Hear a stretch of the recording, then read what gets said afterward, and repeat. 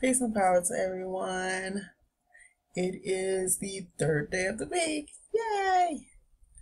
Um, I just came here to share. I have become or come into a place of having a distaste, or I'll say had a distaste for sharing because it just seems like it's not helping. Um, now that I'm studying the language with the Fabulous Four, including myself, we're the Fab Four, everybody. Um, I'm in a better place, I should say. So I'm gonna start back um working during the day and sharing during the day. That way I'll be able to push out more information. I'm not going to say every day, but a study session always leads down the rabbit hole. So, um, that's that. The reason why I'm not on a camera is because, for one, I don't want to be a distraction. I'm always doing a lot in the background. Um, that's neither here nor there. The second reason, it's the truest reason, which is I'm touching up my hair. And I don't want you all to see me with my hands up in the air, like retwisting my hair. There's a lot going on. So, um, that's the reason for that. Now, we were studying last night, and we're going to talk about the Bible a little. This remnant honey when I say you ask for something from the Creator, if you you ask in all heartness, Creator, I want more wisdom. He's going to send exactly that. So, fast forward, I received emails from this young lady, the remnant, and she's just all gun ho about joining up. Now, needless to say, I wasn't trying to, but by the end of our conversation, um, the cloud had been lowered. It's because of who I am. I'm just a realist. I've never had a lot of people around me because um, a lot of people can't take realness. You know, it's all or nothing for me. And she decided, hey, well, let's work on it. So, fast forward to now, we're studying the language. And last night we got into a story about Ada wa Ama, which is Adam and Eve, the female um, male energy that cannot be separated. There's no Adam and Eve. The name has always been Awa, Ata, Wa Ama or Ada Wa Ama. And the reason why it's either or is because in our language, the T and the D are interchangeable. That's just a little tip for y'all. Um, we're learning, we're pushing forward in this thing, and I like it because the more I repeat it, the more I use it, the more it comes back to me. So we're talking about um Adam and Ada Ama, their first two children, and it just made me think about the um, Book of Genesis in a whole nother light because I promised reading it the first time outside of her book, the second, third, fourth, fifth. Yes, I was getting revelation, but not this of revelation. Thank you to Sister Joyce. Um, she broke it down for me last night that Adawa'ama, um, their first, the twins were, they had no color. They were albinoids. And how, um, we found this out was because when Seth was born, the third child, then Ada said, now I have a child in my image. And I don't know what Bible version. Y'all read um Look if y'all I have mine out a portion of it. Um, and I've been had this out of my desk. No plans of sharing with y'all. Not because I'm being cheeky, but because there's a lot of stuff on my desk. There's always a lot of stuff on here. It's just so messy. I don't even know how this stuff ends up on my desk. Long story short, um, I have so much stuff pertaining to us all over my desk at all times. And like I say, when the Most High gears to me, Nina, print this out, laminate it. That's what I do. I'm one of those people that will invest in studying and the bettering of my seed, my bloodline. And y'all have to excuse all the noise. I have to separate some of the stuff on my desk. This piled so high. I have the actual laminating pouches still up here from the last time I laminated something, which was a long time ago. So, let's get into this. Um, I am in William Tyndale's Bible. I was working. I plan on going back to work. We'll see. Um, I have to up some hours later on tonight. My second a little light Y'all know what I'm talking about. This new rap lingo. I'm trying to keep up. But yeah, I'm trying to get that back. get it back, get it back. So at this time to teach, I have to clean. As I stated, a lot of stuff on my desk for no reason. So here we are. Let's go. Um, welcome to my new subscribers. Welcome back to my YouTube family. Yeah, I just got all this stuff for my reason. I just don't understand. Hold on. Excuse me. And may the creator be with me. Okay. Um. All this be up here.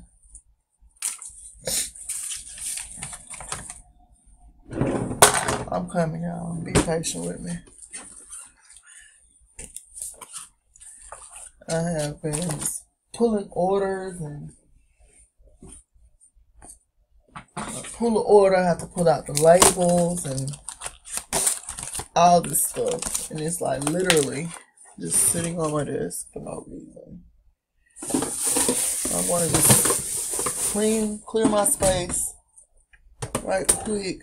Not all of it, but okay. For a second just enough to give me time to bring this up. And this is what I was learning last night, and it took me somewhere else. So we're in chapter 3 in the book of Genesis. Uh,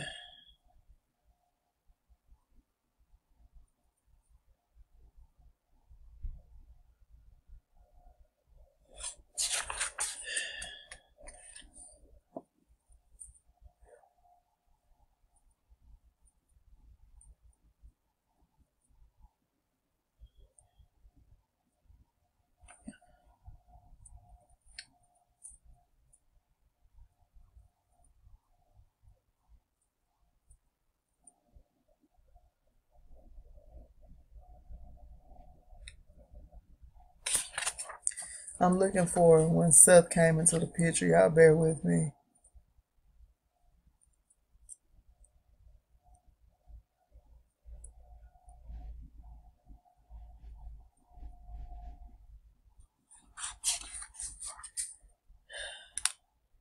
Okay, here we go. So I am in. Am I of fact, let me be fancy.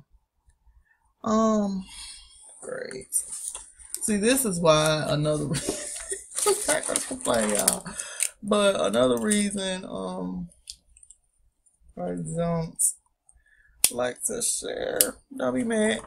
It's because now I have to pull out all these tools and stuff that I have. Because if not, the sharing won't go smoothly.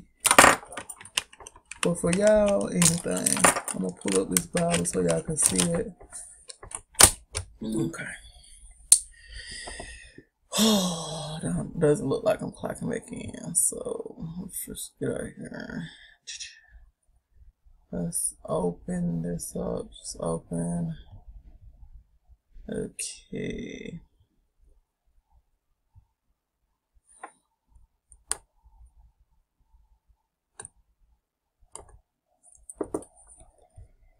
Now, y'all, um, let's get out of there. Let's stop faking like we're gonna clock back in. Get out of there. Okay. This would be page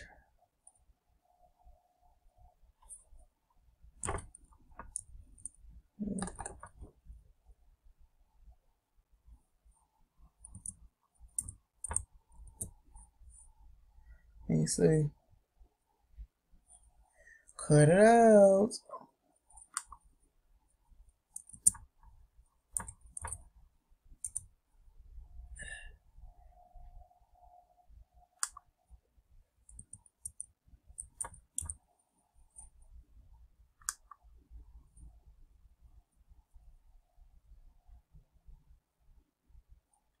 Is it gonna go? That's what happened I'm touching stuff out of my business. Because it's not gonna go.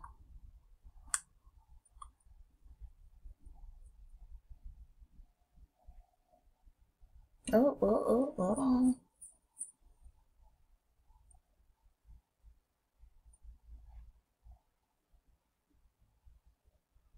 Twenty-four.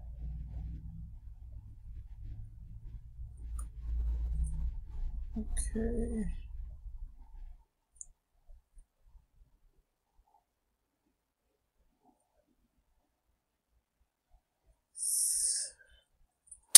Okay, so this is what it looks like. This is chapter 5. Um, this is the book of the generations of man. In the day when when God created man and made him after the multitude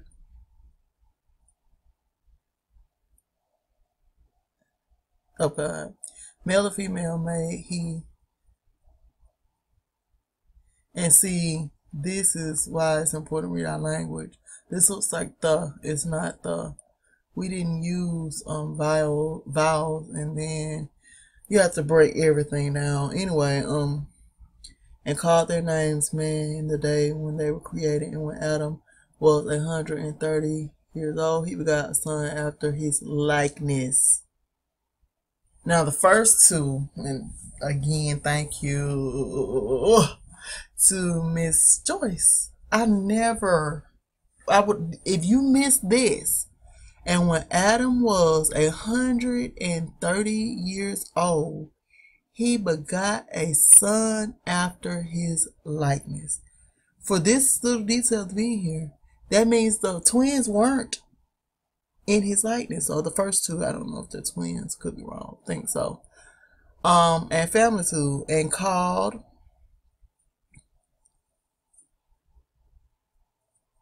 his name Seth. Again, he still dropped H, but SH, that's us. It would be Sheth.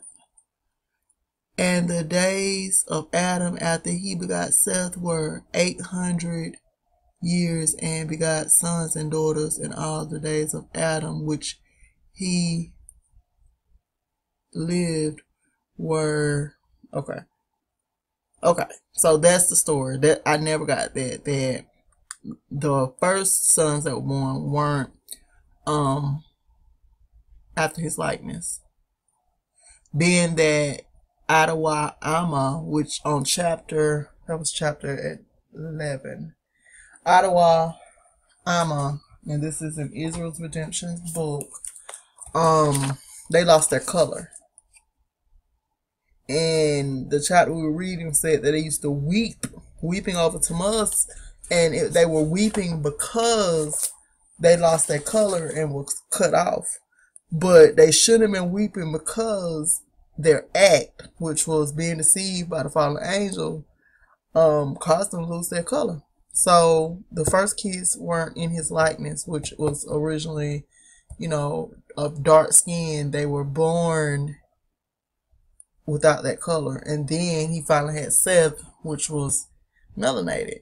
Seth was melanated. Okay, so um the remnant. she in her Bible said um something about oh okay. It said let me see. I know this is all over the place. If you get it, it's for you. Um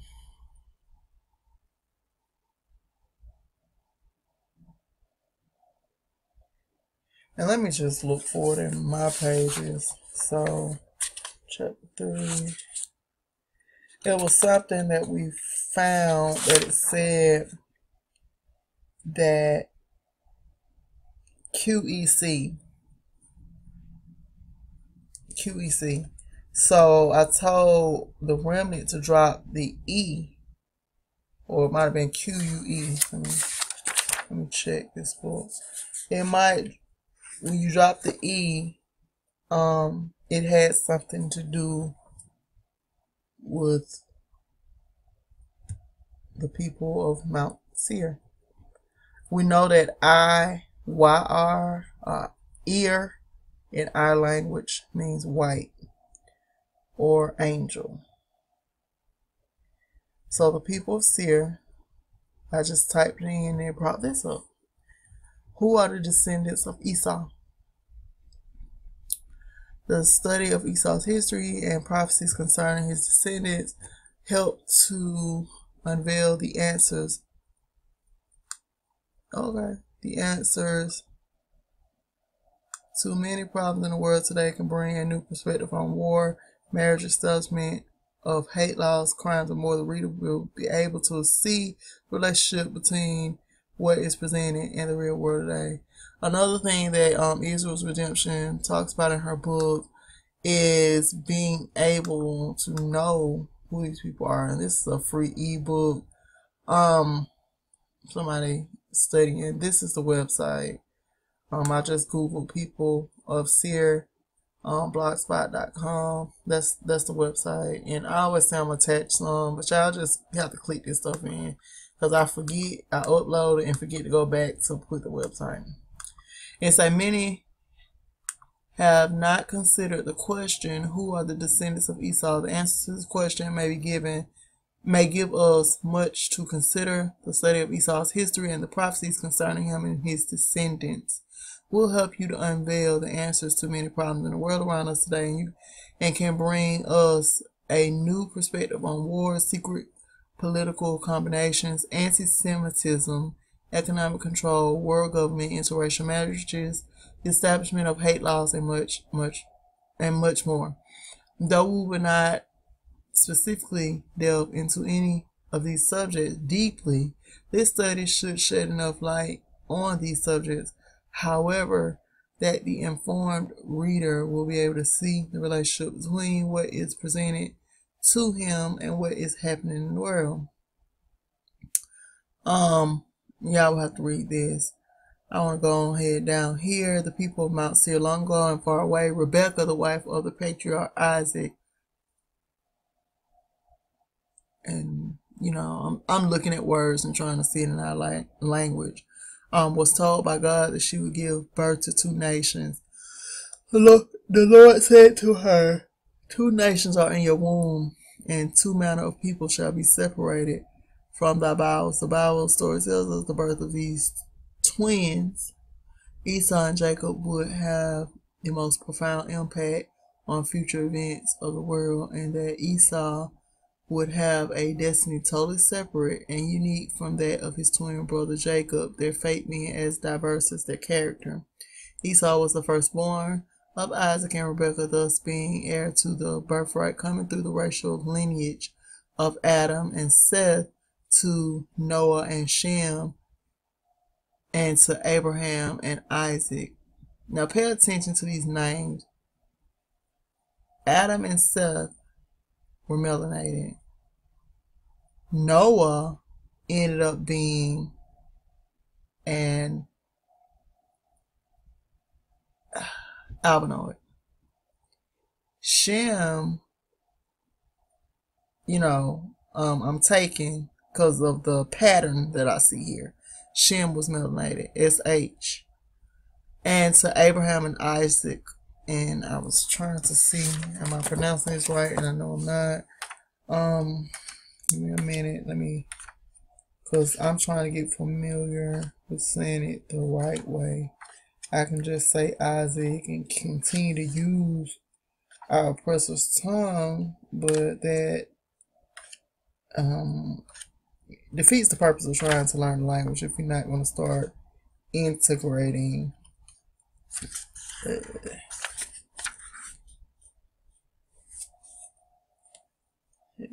okay.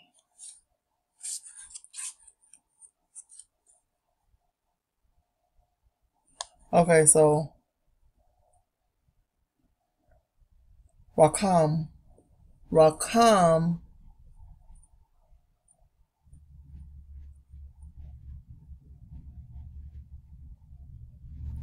Ayashak. Ayashak. Isaac is Ayashak. Okay. Um, let me look at. Ayah.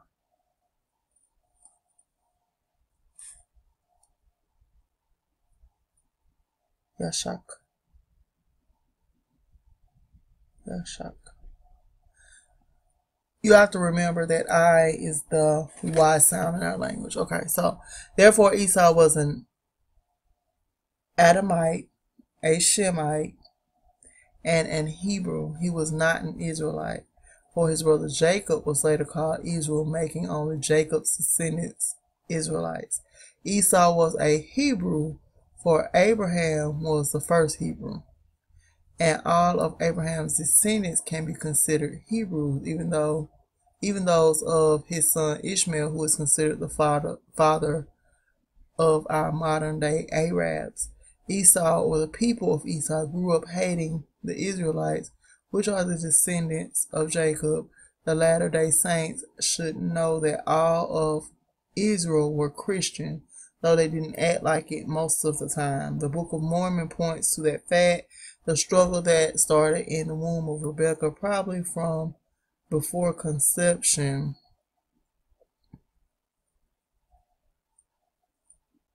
continues down through history until the present day. Esau and his people are traditionally anti Israel, therefore anti Christian. Their behavior and attitude towards Christians point to the fact. Esau, father of Edom. Many have not considered the question, who are the descendants of Esau?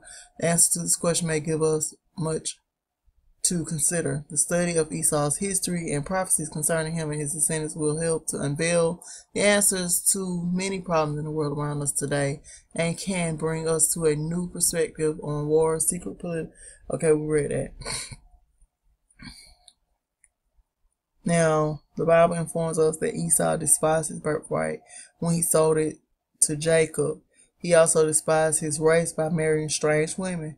He married the daughters of the Canaanites, Ishmaelites, Hittites, Hivites, and Horites. These interracial marriages, which our language, our religion, no mixing. These interracial marriages were a grief of mine to Isaac and Rebekah.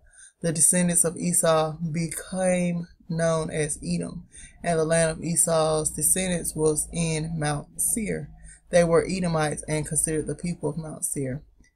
And Esau took his wives and his sons' daughters and all the persons in his house, his cattle and all his beasts and all his substance, which he had got in the land of Canaan, and went into the country from the face of his brother Jacob. For their riches were more than they might dwell together, and the land wherein they were strangers could not bear them because of their cattle.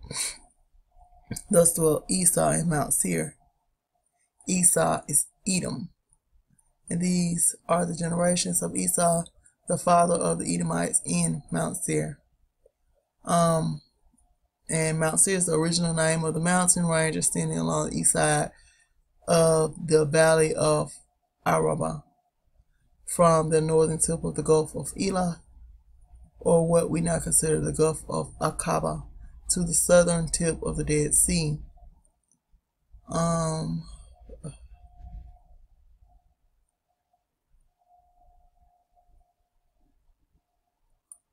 this is a map.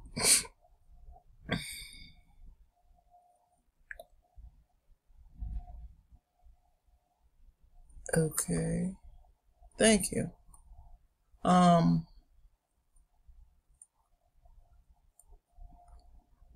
oh, it didn't open them out. What do you know? Come on.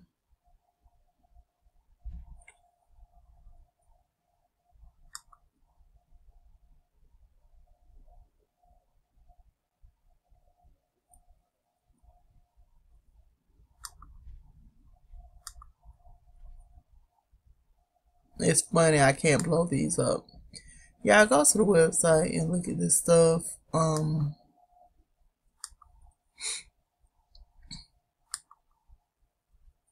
that's funny. Let's see. Open link in a new tab. Oh, you gotta do all this special stuff to see it. Okay. This is the map showing the extent of the Israel kingdom at the time of David's death, BC, and the location, the land of Edom, which David had conquered.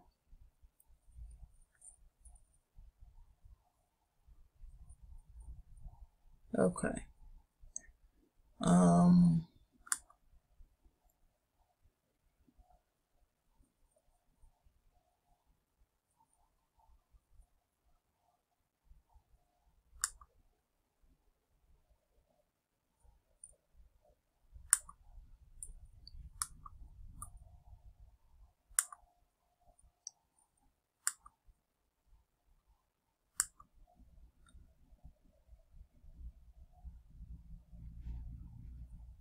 Roman Catholics, Greek Catholics, Jews, Mohammed, Mohammedans, and pagans. So these were little areas of religion. And then everybody else who didn't want this so-called religions, they were called pagans. Map showing the distribution of religious religions in Europe in the 10th century AD, indicating the extent of the Jews as Khazars Oh gosh. Um, y'all know how to go over and read the article. Um, I was here to read it to y'all. It's just a good bit of information. What stuck out to me was the physical characteristics. Just so you know who these people are. And I don't even know if your Bible um will show you what we went over. I just told um Remnant the remnant that I was going to share. But now that I'm sharing, I'm like, they don't even, um,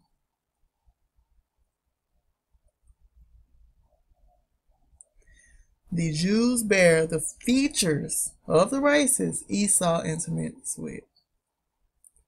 So they sometimes have a nose that humps over. See this?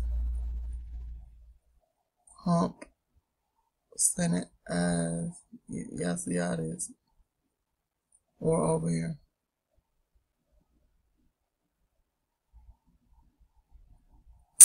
Yeah, so um, intermixing. What just happened? Inter- well, I'm so sorry. That's why um some of this stuff just stay in my head. But um I just was trying to show y'all how it was pointing out that the first children Adam had were not melanated. Um, along the way, I ended up reading that article I just put up, and the reason why it's exciting to me is because I'm trying to get a clear understanding of who was who who was who